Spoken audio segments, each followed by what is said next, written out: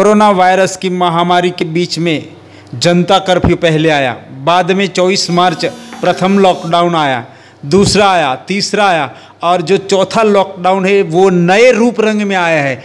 देखिए, ये लॉकडाउन चार के बाद की तस्वीर है, जो नया रूप रंग दिखाई दे रहा है। कोरोना वायरस की महामारी को मात देने के लिए और ये सोशल डिस्टेंस का धज्जिया उड़ रहा है।